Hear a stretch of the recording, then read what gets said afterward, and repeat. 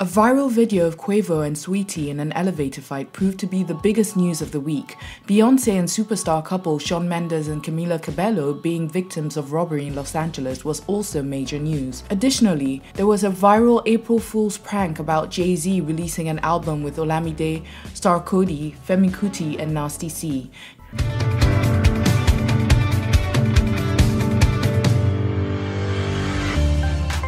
Welcome to Sidomex Universal's Trending Last Week video, where you get the hottest gist that happened during the past week.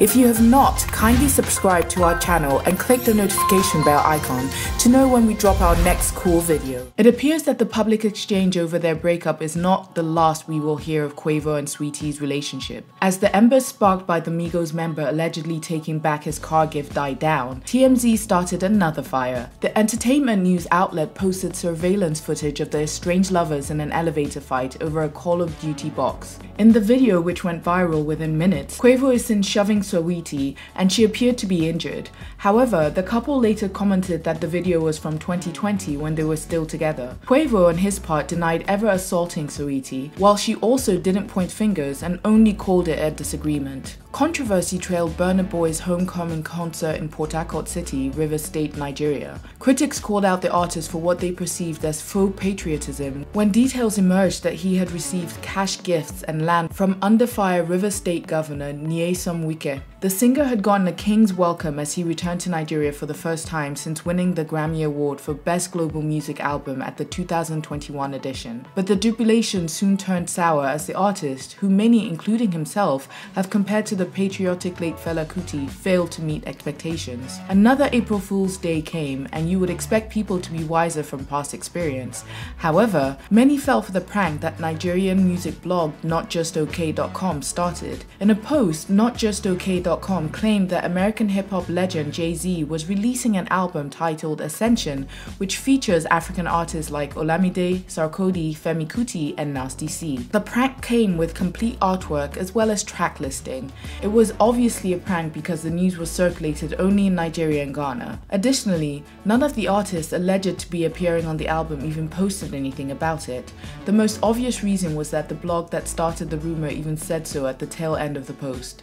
Mr. P of the now defunct P Square Group released his debut solo album this past week titled The Prodigal.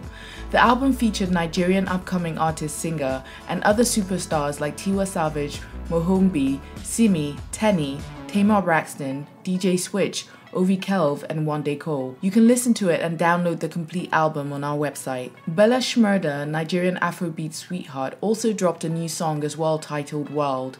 If the early hype around the song is anything to go by, it will soon be a chart topping smashing hit single to vibe to. Speaking of music charts, Peaches by Justin Bieber, featuring Daniel Caesar and Giveon, off his Justice album dominated music platform charts like Spotify and YouTube Music in the US. Meanwhile, in Nigeria, Naira Marley and Busiswa's Coming are the most popular songs of the week. We provide the complete chart on our blog and you can check them out after this video. Another trending song in the US this past week is Lil Nas X Montero. The song launched with a highly controversial video that featured visuals from hell. However, besides the beauty of the video, depending on how you see devilish images, there is also a lawsuit tied to it. A New York based company, MSCHF Product Studio, is selling the Satan shoes from the video, and Nike is suing them for it because they are really just customized Nike Air Max 97 sneakers that contain red ink and the alleged human blood in their soles. Nike says that 665 shoes, which were sold out within minutes at $1,018 per pair, infringed on their copyright. It also caused significant confusion as the religious crowd believes the athletic shoe company had authorized the design and are calling to boycott the brand. Britney Spears revealed last week that the Framing Britney Spears documentary by New York Times made her cry for two weeks. Her response comes over a month after the 74 minutes video aired. It centers on the singer's career, her popularity within American culture, and provides insight into the conservatorship that she has been under since 2008. Godzilla vs. Kong, one of the most anticipated films of 2021, finally debuted in US cinemas on Wednesday, the 31st of March 2021, and it made a considerable 9.6 million on its opening day. It screened in 2,409 venues in the country. Before its US release, the film entered cinemas worldwide on the 24th of March 2021, one week earlier, and made $70 million in China in that period. Its total weekly earnings was a staggering $132.7 million, nearly the production budget of about $160 million, $200 million. Los Angeles burglars struck the property of Beyonce, Shawn Mendes, and Camila Cabello all in March of 2021. Reports claim that Beyonce had even been a victim twice in that duration, and that the burglars carted away expensive handbags and dresses worth about $1 million from her storage units. Meanwhile, couple Shawn Mendes and Camila Cabello were at home when burglars attempted to enter their apartment. The sound of their window breaking alerted them, and they raised the alarm.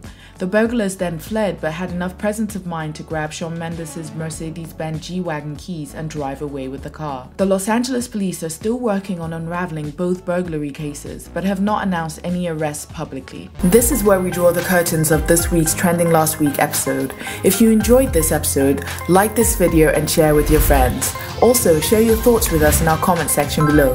Subscribe to our YouTube channel for more exciting content and follow us on Instagram at SidomexENT and on Twitter at Sidomex.